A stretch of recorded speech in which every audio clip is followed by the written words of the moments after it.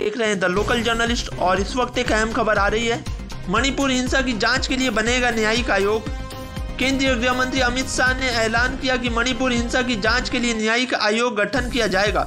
CBI द्वारा भी हिंसा की छह घटनाओं की जाँच की जाएगी। उन्होंने कहा कि हाई कोर्ट के रिटायर्ड जज अध्यक्षता में जाँच होगी।